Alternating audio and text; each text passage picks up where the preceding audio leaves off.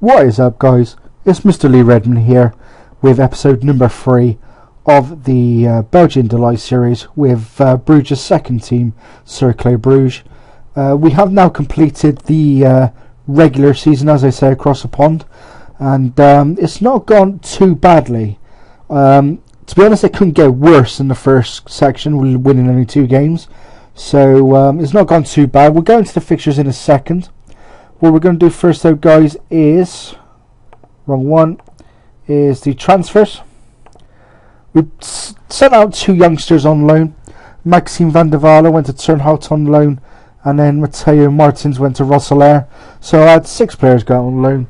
Three to uh, Roeselare, three to Turnhout. So it's not been too bad, to be fair. That gives a little indication how the, how the uh, second season, the second half's gone. This, well, which is a bit surprising that you said that, considering my position. So what we'll do is now, guys, straight into the fixtures.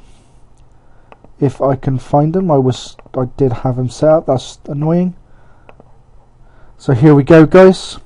The last game was unfortunately a 2 0 defeat against Bruges in the Bruges Derby. Um, that's not a bad result considering you when you have a look at the home game. We followed that up with a 1 1 draw against Charleroi. Uh, the Skins Cabano put Charleroi 1 0 up on the hour mark. Joe Mario, my loanee from Sporting Lisbon, made it 1 1 in the 64th minute. And his 11 shots to 8 in Charleroi favour. 5 on target to my 3 and I had 54% possession. So that ended a run of five games without to no six games without to win in all competitions. We then followed that up with a 2-2 draw against one of our main rivals, KV Mechelen. Nuno Reis burst one lap with another loanee from Sporting just after 10 minutes. David Destorme made it 1-1 just before the hour mark.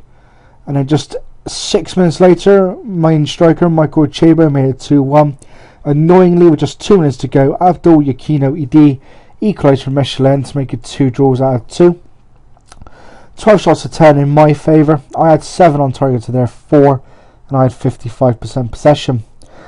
We then got our first win of this section, a 2 oh excuse me, a surprising comeback come from behind win at Racing Club Genk. Kim put Genk 1 up in the 20th minute, and we were 1 0 down at half time. Kalidou Koulibaly, I think is how you say it, equalised by putting through his own net for us just before the hour mark. And then with 15 to go, Frederik Boi made it 2 1 to give us our first win of the section. As you can see, I did not deserve it. 20 shots to 4 in Genk's favour, 9 on target to my 1, and they had 67% possession. Now that is Football Manager at its best though I'm not complaining too much as I actually came away with three points. We then followed that up with a 1 1 draw against um, AA Ghent.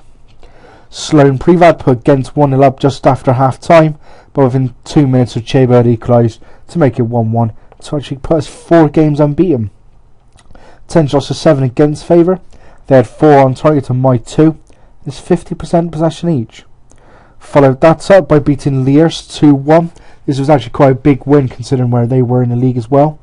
Bart Bousset put us 1 0 up just uh, on the 15 minute mark. Karim Sadai equalised for Liers uh, 60 seconds before half time, so we were 1 1. Arne Naudts put us 2 1 up just after the hour mark. We held on to get a very valuable win. 12 shots to 7 in my favour, 7 on target to their 3 uh, they had 62% possession. This was also good because we had a couple of weeks weeks break actually here, and uh, we the only thing was we beat Toulon, Toulouse Fontaines, which I believe is Toulouse's second side. No, it's actually a no. It is a lower league team from France. We beat them six one. Kabanga hat trick, Atoik, Atok, sorry, Stallions, and Frederik Boi. Unfortunately, that break killed us a little bit, as we then lost 2 1 to Zulte Waregem, with Uchebo plus 1 up in the 29th minute, and we were 1 up till half time. However, two goals in two minutes, one from the penalty spot from Jens Naessens, made it 2 1 to Zoltan, Zolta, and we ended up losing 2 1. But as you can see, it was on the other foot, as we had 9 shots to their 12, but we had 9 on target to their 4, and they had 55% possession. The next game, however, was a disaster It was the return game of the Bruges derby. Unfortunately, Kehinde Fatai put them one love just before half time. It wasn't too bad, but the second half was a disaster. Was three goals in 12 minutes killed us. Lestienne just after the hour mark. Tom De Sutter, surprisingly, just three minutes later, made it 2 0, uh, 3 0, sorry. And with 15 minutes to go, Lior Refaelov made it 4 0. And then with 10 minutes to go, De Sutter scored again to get his second and make it 5 to Club Bruges. 16 to 5 in Club's favour. They had 9 on target to my 1, and they had 53% possession. We then lost 3 2 in Mons. Georgiou put them 1 up in 60 seconds. Our made it 2 0 in the 7th minute. Frederik Boi made it 2 1 on the half hour mark. And then Arne Naudts equalised to make it 2 2 just before half time. Paul Eric Park Ericsson, sorry, made it 3 2 to Mons with just 20 minutes to go to make it 3 2, and we weren't able to bounce back, and we lost our third game in a row. 16 shots to 7 in Mons' favour. They had 8 on target to my 3, and they had 53% possession. We then lost again 3 1 at home to Standard Liège. Igor de Camargo, de Camargo made it 1 0 in the 5th minute. Arne Naut equalised for us, and we went in 1 1 at half time. Unfortunately, Michy Batshuayi in the 50th minute made it 2 1. And with just two minutes to go, Fredrik Bulots made it 3 to round up the victory. We also had Tim Smolders injured in 25th minute, and then Arnie Naudts in the 79th to just make the game worse. 22 shots to 3 in Standard's favour. They had 8 on target to my 1, and they had 54% possession. We then went to Anderlecht and lost 2 1. Matias Suarez put uh, Anderlecht 1 0 up on the half hour mark. Reis equalised for us on the 51st minute to make it 1 1. But just 15 minutes later, Tobias Sana made it 2 1 to Anderlecht.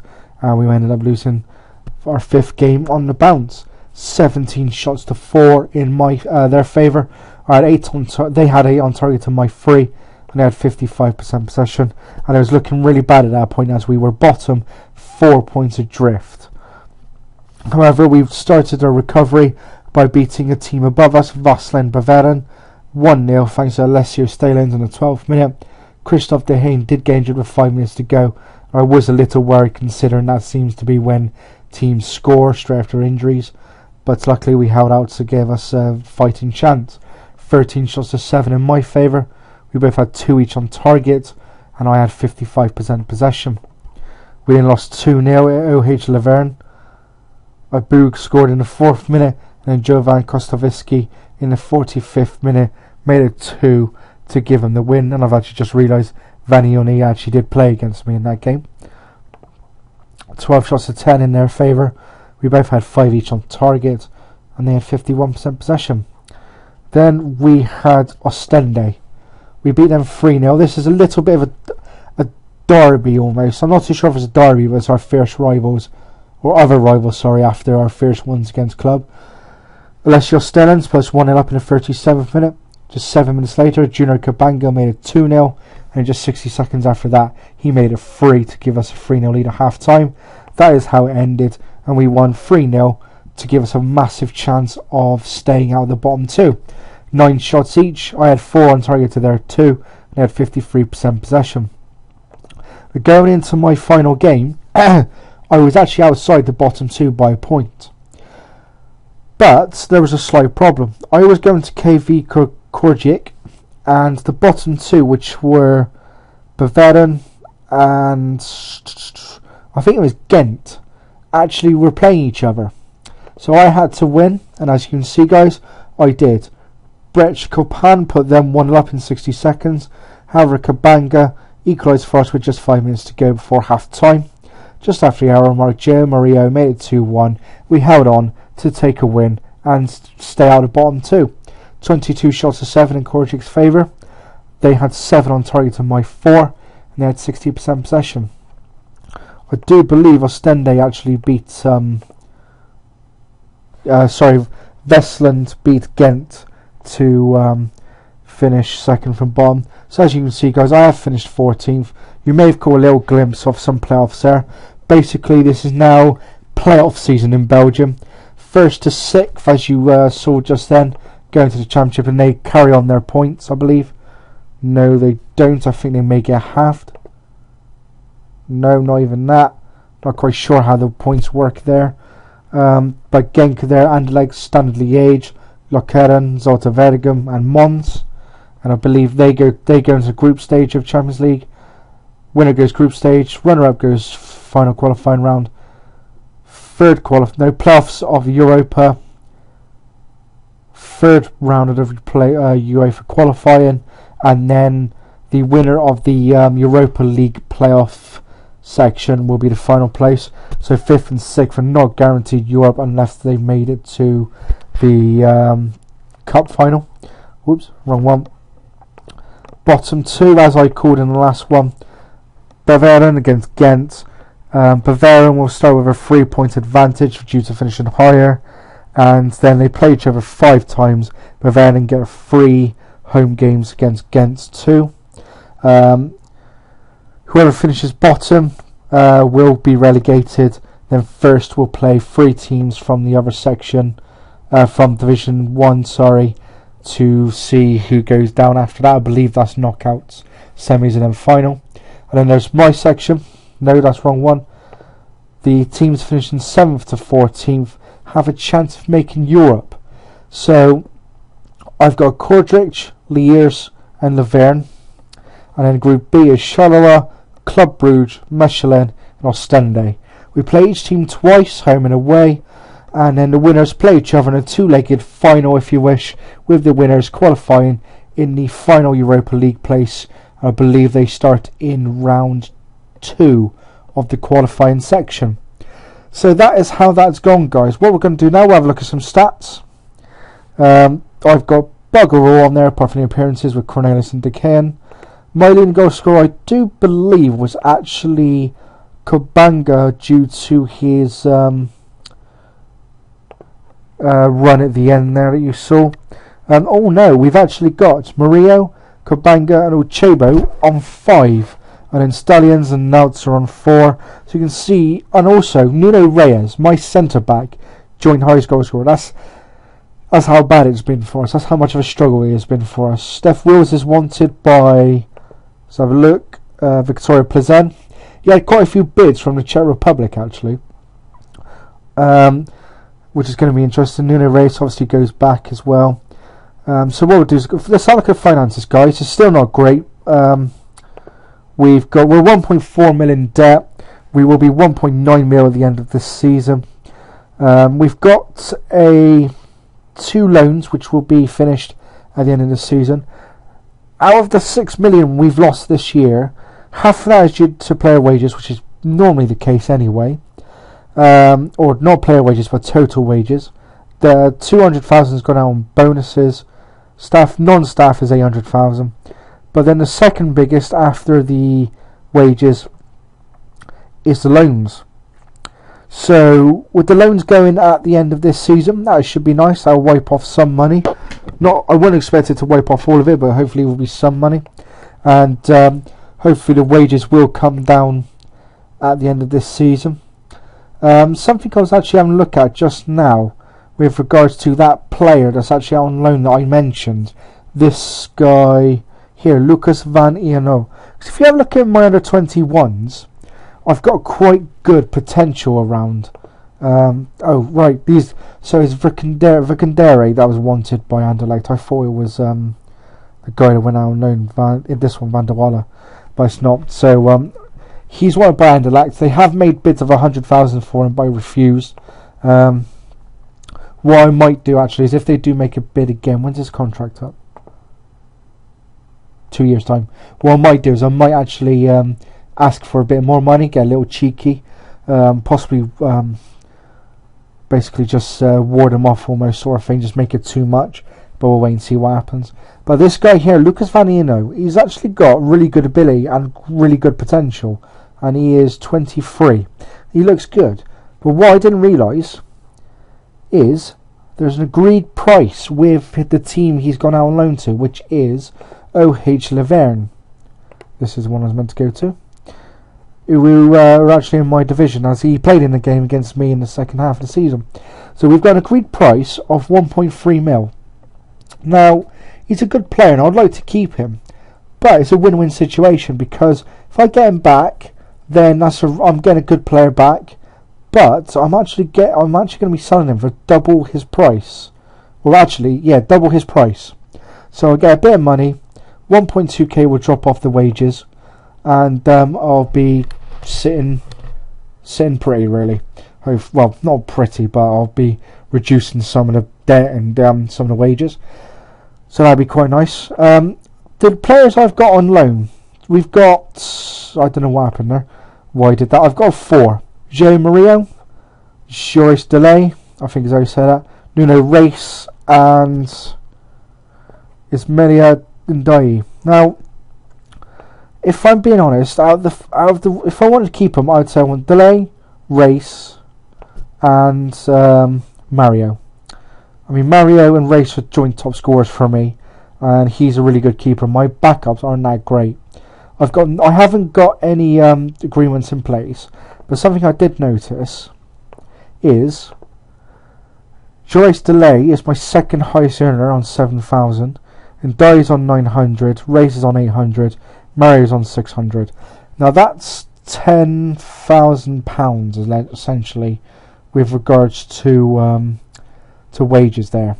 Actually, I don't think it is. It's about eight nine thousand. So with them going, I am going to bring my wage budget below. I'm going to bring my wages below my budget. I've also got Arnar Bjornsson is retiring at the end of the season with 3,400, so that's over 10 grand there. Um, Stef Wils is wanted. You never know. There might, there's going to be other players I don't want to keep, and obviously there's a potential for Vanino to go. So I could have about 15k drop off my wage budget by the time I start, or by the time all of the contracts are up. I'm gonna have to wait and see how they are to see who I want to keep. Um, so that will be a little interesting. Something I also found out earlier, basically, I did do, I did try this video just now, but I messed up a little bit while I was looking at some details. Is there is a clause in place for Tom De Sutter, who scored two against me for club. Um, I get 20% of, if I'm reading this right, of his next transfer fee when clubs sell him, if clubs sell him. What I've done, and what I always do with players that are at other clubs, but I've got percentage sell-on clauses on, I've added them to my shortlist. The only slight problem I have is he is 28. But we'll have to wait and see how he does at the end of the season. So he's played 24 games and scored 10 goals, which is not bad for a midfielder. So we'll have to see how that goes. Something I've also noticed, I have a feeder club in, um, what's her name? Sporin. Wrong one. There we go. Uh, there we go. Affiliated club, Sporting Lisbon. So they'll be able to send players to me on loan, and their Sporting will play, pay the wages in full, um, but I have no obligation to make, to actually play the player. Um, unfortunately, I don't actually get any um, money either, which is a bit annoying. Uh, but that's going to be good because they can send them. They can send players on loan to me. I get messages if um, a player is on loan list or gets a bid put in for him. So um, we'll have to see that is. But that is it for this episode, guys. Leave some likes, leave some comments, subscribe. Would appreciate it all. Uh, tune in next time for an end of an actual end of season review. The playoffs will be done. Um, if I make it to the final in the two legs, I may actually live stream them. We'll have to see how it goes. But uh, we've got these games, Kortrijk, Liers, Leuven. Um, so hopefully we can get some decent there. I have to be honest, it wouldn't be quite right for me to actually finish or get into Europe considering 14th, but that's the way they want it done. But uh, that is it for this episode, guys.